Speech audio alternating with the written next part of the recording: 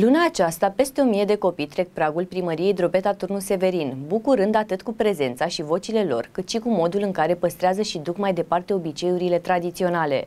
Primăria Drobeta Turnu Severin i-a răsplătit pe micuții veniți să colinde cu daruri. În aceste zile, sute de elevi au pregătit programe speciale de sărbători și au plecat la colindat. Instituții precum Primăria Municipiului Drobeta Turnu Severin și Palatul Culturii Teodor Costescu au început deja să își primească primii colindători.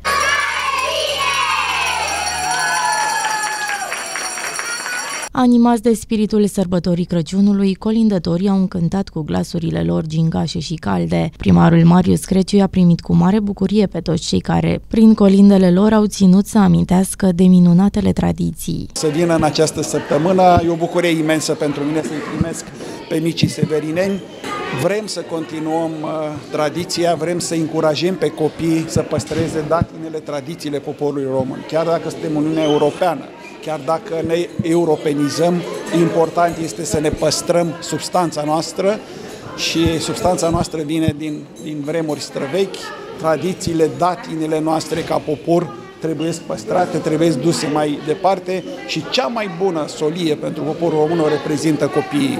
Sute de colindători poposesc luna aceasta la primărie, aducând în dar bucuria Crăciunului și magia sărbătorilor de iarnă. Poporul român păstrează tradițiile, iar noi avem obligația ca prin toate mijloacele să transmitem copiilor aceeași dragoste față de obiceiurile care ne definesc ca popor. Colindătorii care au venit cu cele mai frumoase colinde și cântece nu au plecat cu mâna goală de la primărie. Aceștia au primit cadouri de la primarul Marius Creciu. Luna aceasta peste o mie de copii vor trece pragul primăriei primăriei Drobeta Turnu Severin, bucurând atât cu prezența și vocile lor, cât și cu modul în care păstrează și duc mai departe obiceiurile noastre tradiționale.